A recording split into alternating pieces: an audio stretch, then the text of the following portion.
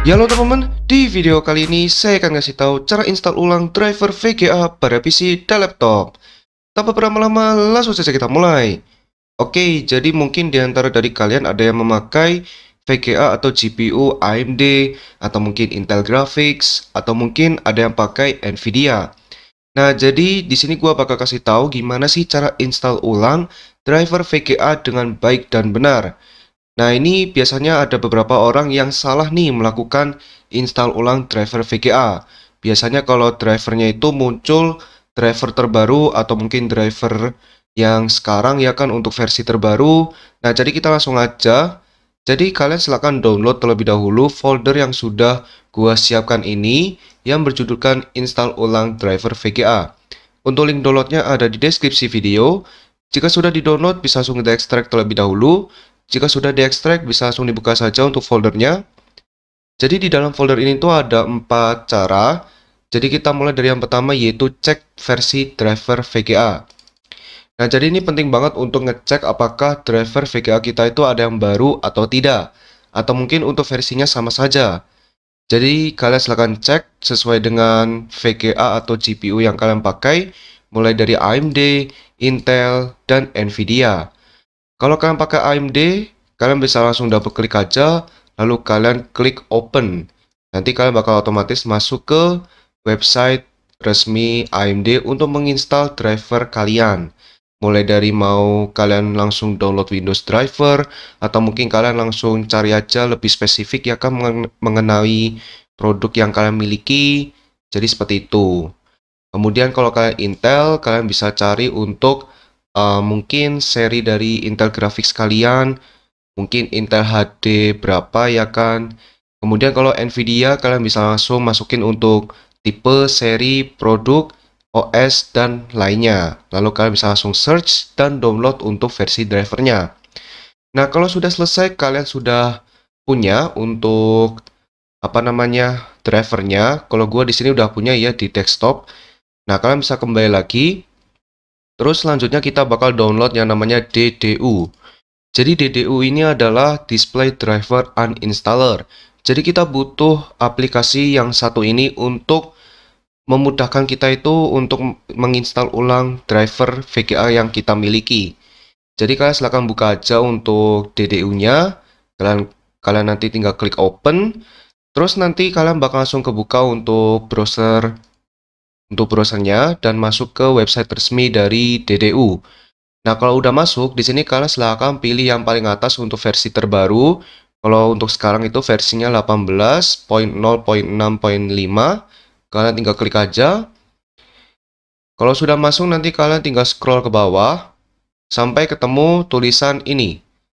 Klik here for download and support. Kalian tinggal klik. Kemudian nanti kalian bakal masuk ke sebuah forum dari aplikasinya. Terus kalau udah kalian tinggal scroll ke bawah sampai ketemu yang download DDU portable. Kalian pilih yang portable karena di sini kita nggak mau yang installer, jadi kita pilih yang portable saja. Kemudian kalian tinggal tunggu sampai downloadannya selesai. Nanti kalau sudah selesai nanti kalian langsung saja untuk membukanya. Jadi di ini ya, DDU-nya kita pindahkan ke desktop dulu. Terus kalau sudah di sini udah ada ya DDU-nya, tinggal kita klik kanan, lalu pilih yang extract here. Extract here. Terus tinggal kita tunggu dulu. Kalau sudah nanti bakal muncul untuk foldernya. Kita buka. Nah, kemudian ini sudah selesai. Kalau sudah selesai kalian download, kemudian sudah diekstrak untuk DDU-nya, kita balik lagi ke folder yang apa namanya gua punya ini. Nah, tadi kan sudah nih download DDU. Sekalian kita ekstrak untuk DDU-nya.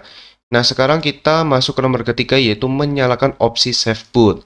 Nah, mengapa uh, kita perlu nih uh, masuk atau menyalakan ke mode atau opsi save boot? Karena kalau kita ingin menginstal ulang driver VGA, itu yang lebih baik atau lebih lancar itu harus melalui mode save boot.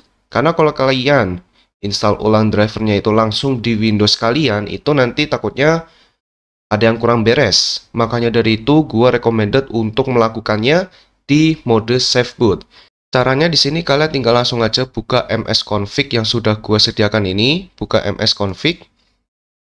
Kemudian kalian tinggal open aja. Kemudian kalau sudah kebuka, kalian pergi ke menu boot. Lalu di bagian boot option, ini kalian centang untuk save boot. Lalu kalian pilih yang minimal. Jika sudah, klik apply, lalu oke. Okay. Kemudian kalian bisa langsung exit without restart. Nah, sekarang kita sudah menyalakan yang namanya opsi save boot atau mode save bootnya. Nah, sekarang yang kita perlu lakukan adalah restart laptop atau PC kita. Jadi silakan kalian restart terlebih dahulu PC atau laptop kalian agar laptop atau PC kalian itu bisa langsung masuk ke mode atau opsi save boot. Jadi kalian silakan restart terlebih dahulu ya, oke? Okay? Oke, okay, jadi di sini gua udah masuk ke mode atau opsi save boot. Jadi yang perlu teman-teman lakukan, buka kembali untuk DDU-nya, terus kalian langsung buka aja untuk aplikasinya.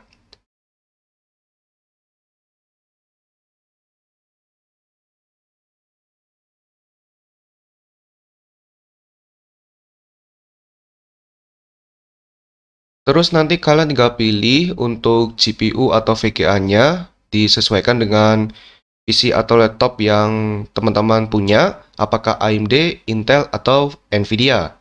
Kalau gua di sini pilih AMD karena disesuaikan dengan laptop gua sendiri. Kemudian kalau kalian sudah pilih GPU atau VGA, kemudian kalian pilih GPU atau VGA yang kalian pakai entah AMD, Intel, atau Nvidia, kalian bisa langsung pilih yang kotak nomor 2 guys. Yang tulisannya kalau nggak salah clean and do not restart.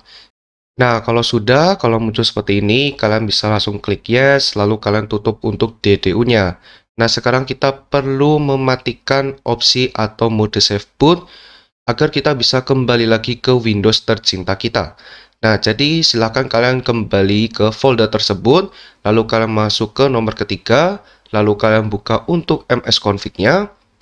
Kemudian kalian pergi ke menu boot, lalu di bagian boot option kalian silahkan hilangkan centang pada save boot.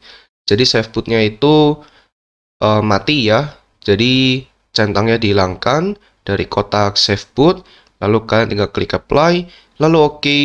Terus kalau muncul keterangan, kalian bisa langsung pilih restart.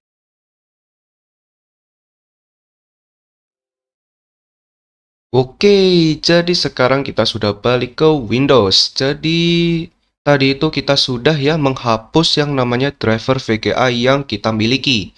Jadi sekarang kondisi laptop gua ini tidak memiliki driver VGA sama sekali.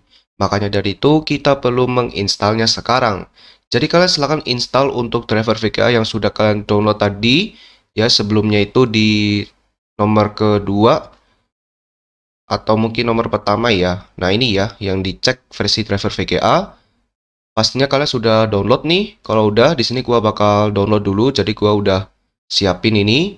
Kita langsung download aja dulu dan kita bakal balik lagi ya, oke? Oke teman-teman, jadi di sini gua udah install ya untuk driver VGA-nya. Jadi kalau kalian lihat di desktop gue ini udah ada yang namanya AMD Radeon Software.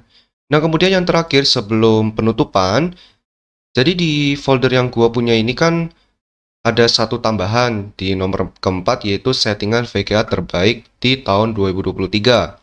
Jadi kalian bisa coba sendiri kalau semisal kalian mau dan kalian bisa pilih disesuaikan dengan VGA atau GPU yang kalian miliki.